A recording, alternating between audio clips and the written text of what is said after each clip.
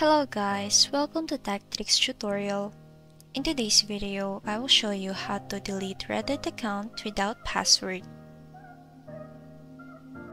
So first things first, what you're going to do is go to your Reddit and then go to your profile and then go to settings. Now if you will go to your account settings and if you scroll down you will see the delete account option. Now if you click that, it will require you to give your password. So if you don't want that, you can just simply go to your browser and search for Reddit.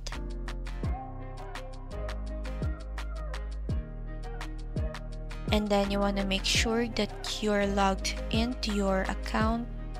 And then after that, go to your um, settings and then go to your um, account and you will see the delete option in there and then that's it.